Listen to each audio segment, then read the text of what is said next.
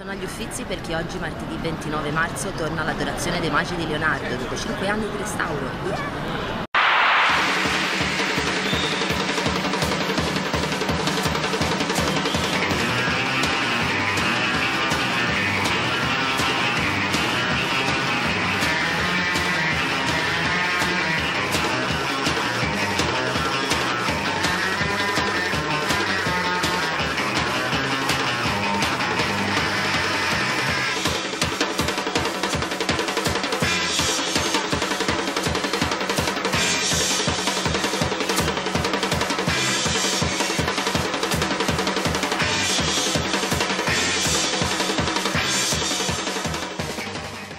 Bella, eh? Leonardo ci ha lavorato due anni, dal 1481 all'82.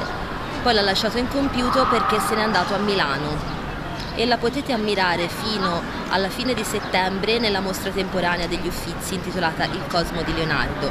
Nella sala accanto c'è anche l'adorazione di Filippino Lippi, che è quella che i frati di San Donato a Scopeto ordinarono quando realizzarono 12 anni dopo che Leonardo non gli avrebbe mai completato la sua adorazione.